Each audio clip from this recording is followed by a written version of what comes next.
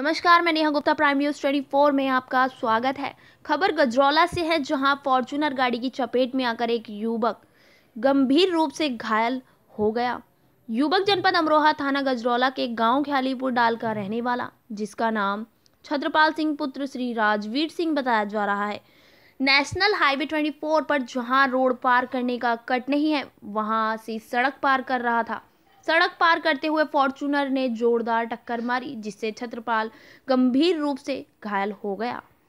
आनंद फानन में 112 पुलिस घायल को सी गजरौला लेकर आई। वहाँ से डॉक्टरों ने उपचार करके जिला अस्पताल अमरोहा के लिए रेफर कर दिया। मौके पर जिन्होंने इस घटना को देखा, घायल छत्रपाल के पीछे आए और बताया जा रहा है कि घायल छत्रपाल नशे की हालत में था, जिसके कारण छत्रपाल के साथ यह घटना हुई। गजरौला से काविंदर सिंह तमर की खास रिपोर्ट।